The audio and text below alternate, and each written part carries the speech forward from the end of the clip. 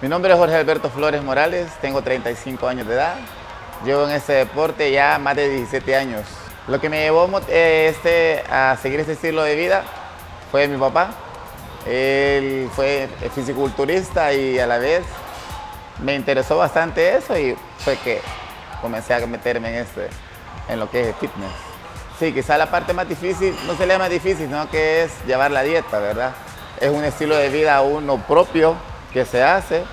Sí cuesta a veces mantener lo que es la comida, mantener lo que es la dieta, pero a la vez, cuando uno se forja metas, ya ya sabe uno la satisfacción que tiene al final del camino.